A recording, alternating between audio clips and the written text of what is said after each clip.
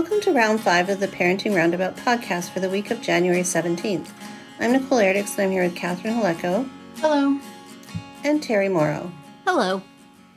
Today we're taking a break from talking and complaining and obsessing and instead shouting out things other people are doing that we think you'll find as useful or enjoyable as we do. We call this our Roundabout Roundup. Um, I don't often shout out books, uh, not because it just, I don't, I used to be such an avid reader, and these days it's just not a priority, sadly. But I've started to listen to audiobooks, and um, which I've been enjoying because I've been able to reconnect with my one of my favorite authors of all time, and I started reading his books. Oh, when he started writing them, so couple decades ago, actually. Mm-hmm. Um, and he's a kind of a psychological thriller writer. His name's Jonathan Kellerman, and he has numerous books under his belt. I don't know how many exactly, but I just finished listening to The Wedding Guest um, on uh, Audible, and it was really enjoyable, and I really liked it. And I was like, you know what, what. I this it kind of took me away. It I you know I listened to it while I was exercising or folding laundry, and it was just a really nice um, yeah, it was a good story as always. And so if you're looking for an author who's got a you know a series, it's the same characters, um, the same kind of you know like I said psychological thriller, but every one of his books, I don't think there's one that I've not been happy with. Um, they've all been really good books, so check him out, um, Jonathan Kellerman, and his all his books, which I love, are set in L.A and he like specifically identifies certain places in LA and names streets and restaurants and all kinds of things. It's really cool. So you can, if you know LA, you can kind of follow that along. So cool. Yeah, that's always fun. That's my shout out for this week. Terri, what have you got? Um, well, I have another. Also have an audiobook. And a couple of weeks ago, I talked about an audiobook I listened to on my vacation when I suddenly had time to sit and listen to things. Uh, and another one of the books I listened to during that time is called The Anthropocene Reviewed by John Green. Uh, I think John Green is mostly known as a YA author. Uh, the Fault in Our Stars is possibly his most famous one. But he has also had for a while this podcast on which he just sort of reviews random things in the world on a five star scale. Uh, I've been very entertained by the podcast, and I saw that he had a book with the same title. And so I wanted to check it out. This is what uh, the publisher's site says about the book. Uh, the Anthropocene is the current geologic age in which humans have profoundly reshaped the planet and its biodiversity. In this remarkable symphony of essays, adapted and expanded from his groundbreaking podcast, best-selling author John Green reviews different facets of the human-centered planet on a five-star scale, from the QWERTY keyboard and sunsets to Canada geese and penguins of Madagascar. and it is just delightful. And I, I enjoy listening to him talk. I enjoyed the podcast, and it's fun listening to this again. And also, just sort of some of the, the things he comes up with. And usually, he'll start out talking about one of this thing he's reviewing, and then go into some personal stories from his life that are all very interesting and moving, and uh, sometimes funny, always thought provoking. So, if you had interest in the podcast and never quite got to it and think, hey, what I would like to do is sit down and listen to 10 hours and three minutes of the podcast all in one lump, you might enjoy this audiobook. Uh, you can also certainly listen to it essay by essay. Um, but I think that uh, it's really an interesting and enjoyable experience to have essays read to you by somebody who reads very well and uh, I would recommend it. So that is the Anthropocene reviewed by John Green.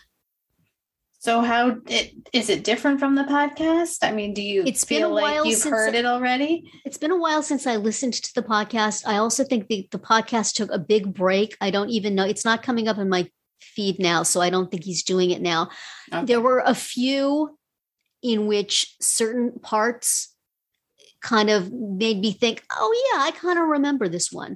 Mm-hmm. But in no way did it feel like, oh, I just listened to this and I got to listen to it again. Right. So uh, it, e- either it's been long enough since I listened to it the first time that I don't, I just remember a few details.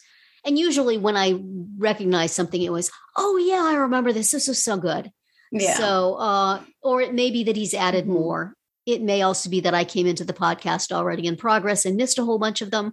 But, uh, you know, I think even if you lis- listen to the podcast some, it's worth getting the audiobook and just listening to them, um, you know, in short succession in this Right. way. Uh, just lovely, really lovely. A symphony of essays is a good way to Mm. describe it. So, Hmm.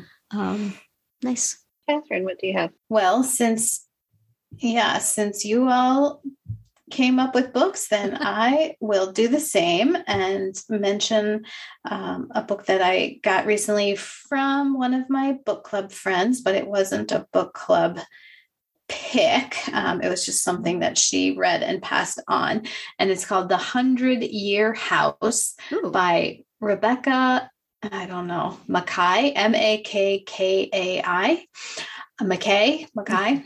Um, anyway, um, it is a story of this big estate, and it starts out in like 1999, 2000, and the story of um, this kind of younger woman and her husband who come to live in the carriage house of this big estate. And while her mother lives in the um, in the main house the big house um, but in its sort of in its past this house had been an artist colony.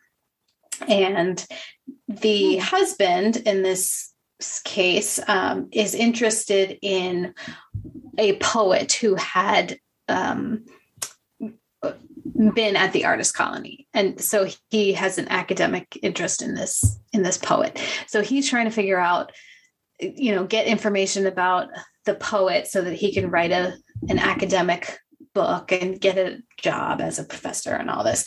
Um, so you get this whole story about them living in this in this carriage house and it trying to find out more about the big house.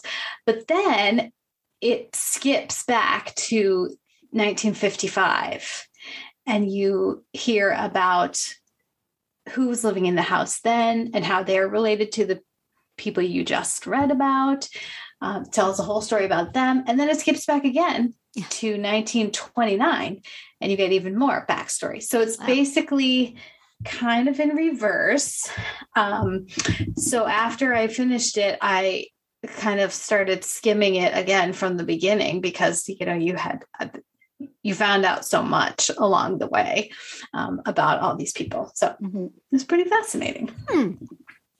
That sounds good. Boy, Yeah. such good reading material here. Don't take time out of your podcast listening to uh, listen to these books, y'all.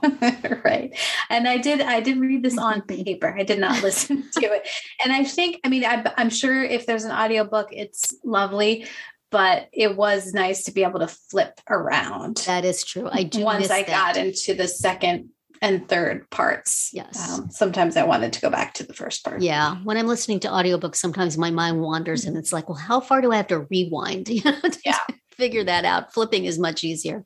And I should Mhm. also say that if you wish to read a hardcover of the Anthropocene Reviewed, one of the things he talks about is signing your name for uh, like you know author autographs of books and that he Mhm. signed his name some thousands and thousands and thousands of times on pieces of paper that the publisher then put into these books and i see now if you go to the publisher's website they have autographed copies of this book so if that's the kind of thing you like you could get a signed copy and then you could hear him talk about what he learned when he was signing his name thousands and thousands of times Fun. All right. Well, this has been Parenting Roundabout Books Edition. And that's it for another week of Parenting Roundabout. If you missed any of our earlier episodes this week, look them up on Spreaker, Apple Podcasts, Amazon Music, or wherever you get your podcasts to hear what we had to say about texts to new parents, ways to motivate kids, and our kids' favorites when they were little. You can also find all our episodes at parentingroundabout.com and talk back in the comments there on our Facebook page or on Twitter, where you'll find us at Roundabout Chat. And please visit our Amazon shop at amazon.com slash shop slash momitude, where you can find links to some of the things that we talk about. Have a great weekend and see you back here on Monday.